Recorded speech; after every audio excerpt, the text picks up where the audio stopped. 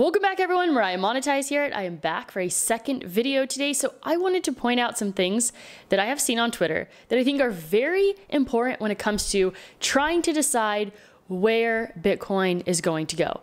Is Bitcoin going to break $20,000? So I'm going to be pulling some information that I have found that I think is really valuable in really putting things into perspective to, for us to figure out, make our own decisions on where we think Bitcoin is going. So Bitcoin did hit just below $20,000 um, while I was sleeping. And now it's currently sitting at uh, 21,334. So here's some things to consider to help you make a decision on where Bitcoin is going next. So a scary amount of multi-hundred million dollar Bitcoin and Ethereum positions on lenders like Aave and Maker are in danger of liquidation. If that happens, it starts a price cascade triggering more liquidations. They may post more collateral, but be mentally prepared. So we are poised in a position where a ton of liquidations can start being triggered. And like we've heard about Michael Saylor, a liquidation price of $20,000, but we also know that he has a ton of collateral to post to back that up, okay, to lower that amount. But we also have information.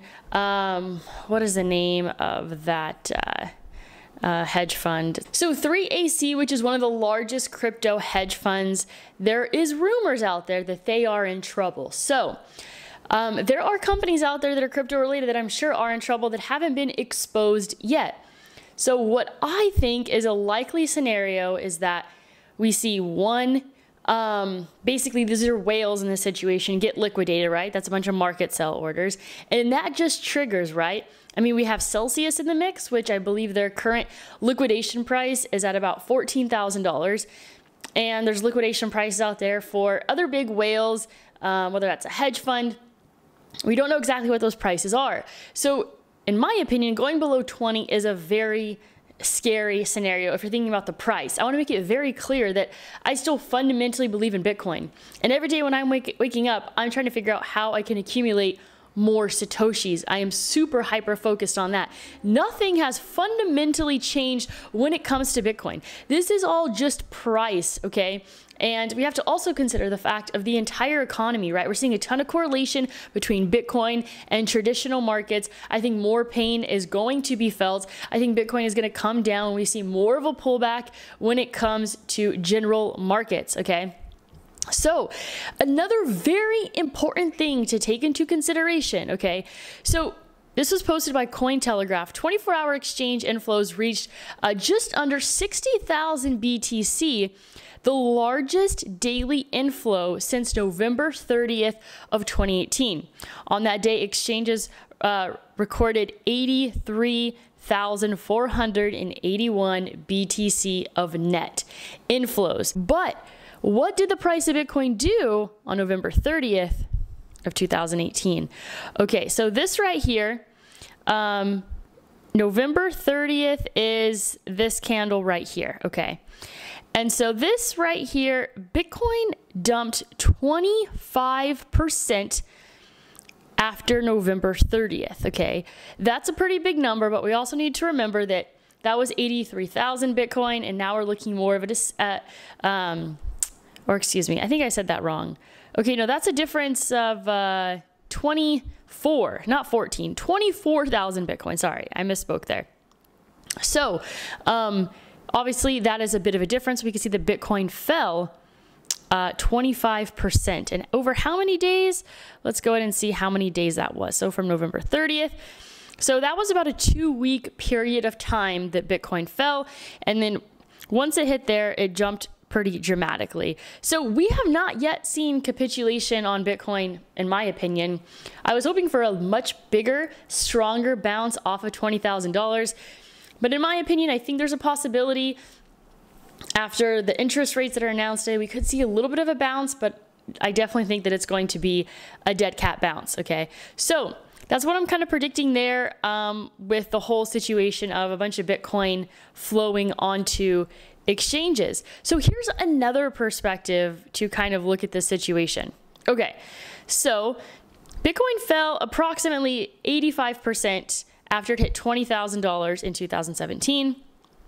And, um, you know, this came in in December and this low, if, you know, pulled back 85% or whatever in uh, about 12 to 14 months. Okay, so we know that Bitcoin hit the all time high. It's back in November of last year, right?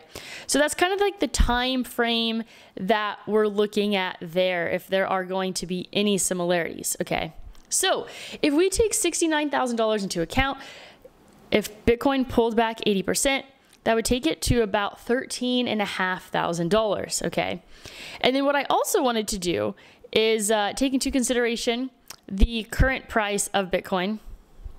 So um, let's go ahead and just say uh, about 21 247 okay and let's say a 25% pullback which is what i just showed you what happened on november 30th would take it down to about uh, 15,837 so in that range over there that's a that'd be a 25% pullback from 21 and about 3 what if we go ahead and put this to about 20,000 the low that we saw today and it pulls back 25% off of 20,000 that would take it to $15,000 so about a $1,000 spread between marking it at those two different points. So that's some perspective there as well.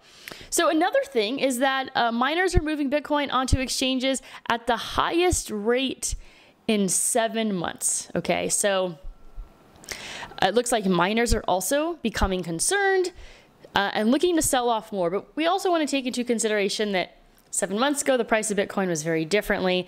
And so to cover costs, they're going to have to send off more Bitcoin to sell to cover their costs. But I don't obviously know exactly um, the internal structure and how miners um, function in a sense. And they all, I'm sure, function completely differently um, when it comes to money management. So those are some things that I wanted to point out to you guys that I think are extremely important in the current market conditions. This feels much different than um, any other market cycle, I would say.